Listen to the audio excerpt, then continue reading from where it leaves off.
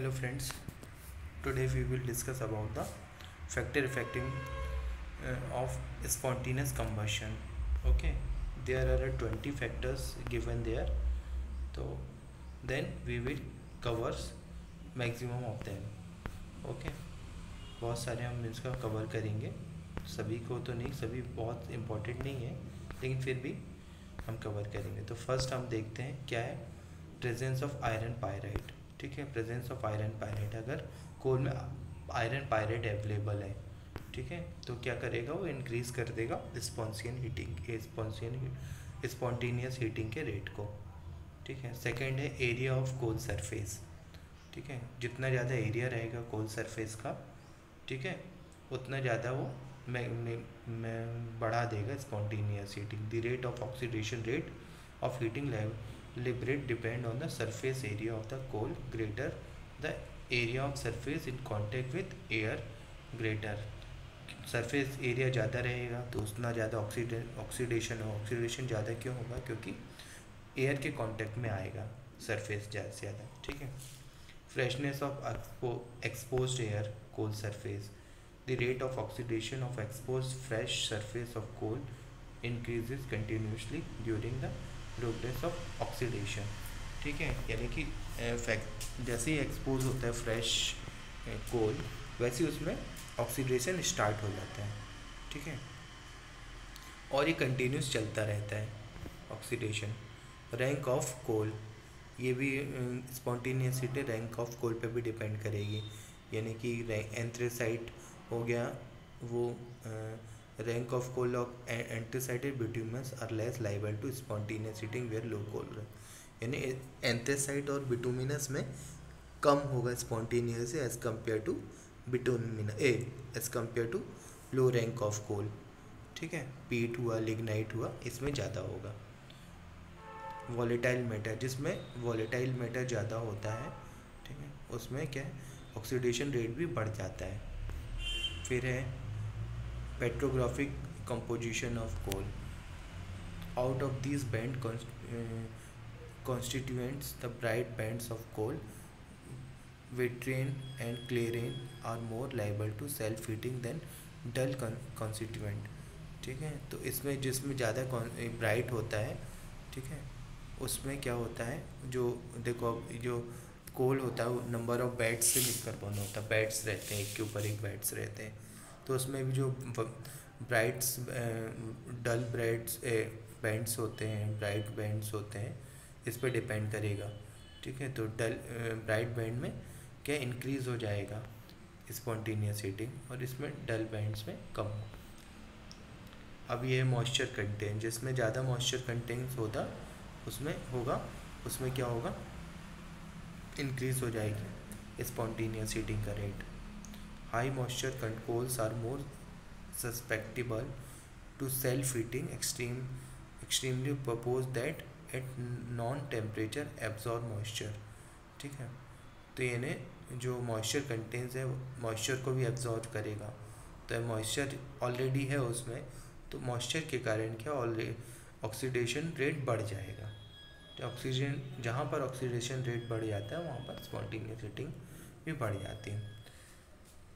Temperature of surrounding atmosphere इस पर भी डिपेंड करेगा। अगर ज़्यादा एटमॉस्फेयर का टेम्परेचर तो ज़्यादा स्पॉन्टेनियस हीटिंग होगी। Warm air in contact of expose surface उतना ज़्यादा से ज़्यादा गर्म हवा जो है एक्सपोज सरफेस के कांटेक्ट में आएगी और आएगी तो उससे ऑक्सीडेशन रेट बढ़ जाएगा।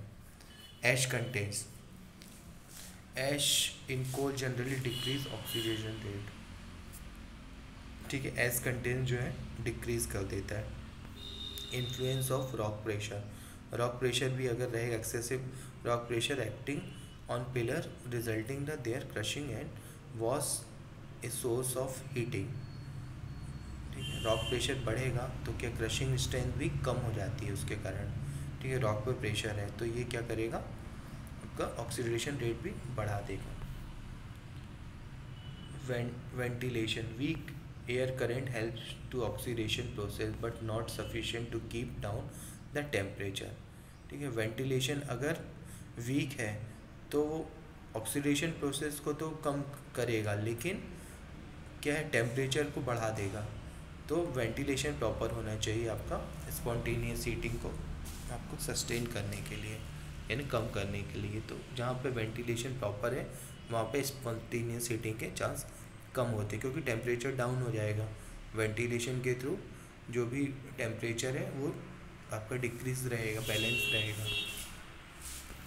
फिर है nature of ad ad adjoining strata thermal conductivity of coal major shales ये भी इतना इंपॉर्टेंट नहीं है, ये देखते हैं अपन। Depth of seam the start starter temperature and crushing effect increase the health with the depth which are which are the prime factor to accelerate self heating ठीक है, जैसे जैसे डेप्थ बढ़ेगी, वो क्या करेगा? उसमें क्रशिंग स्ट्रेंथ भी इंक्रीज हो जाएगी क्रशिंग इफ़ेक्ट भी बढ़ जाएगा टेम्परेचर के कारण। और जो प्रेशर है, वो भी बढ़ जाएगा।